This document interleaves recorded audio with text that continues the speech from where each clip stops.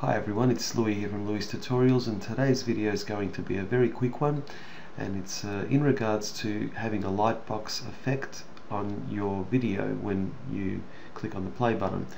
I've set up some video screens here, um, images, and this is my uh, Cherry Pop is basically my corporate function band that I sing in and I'm just creating a brand new website for us and as you can see this particular uh, play button on each of the videos is set as the link. So you'll see here that we have the URL address.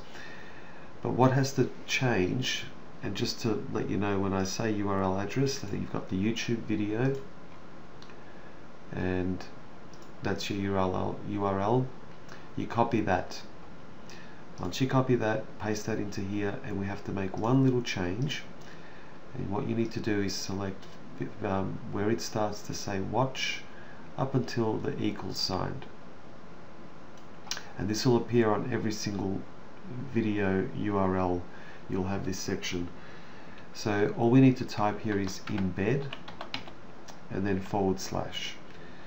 Once you've done that make sure on your target window you select lightbox as it is selected right now and also see the dimension of your video here. So this one's at 640 by 360 to check that go to your video go to the share section go to embed and see you can see all your different settings. You can go bigger of course. You can go up to 1280 by 720 with a pop-up.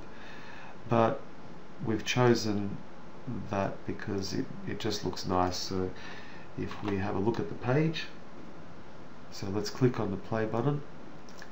And it pops up beautifully into a lightbox video and you can play it from here.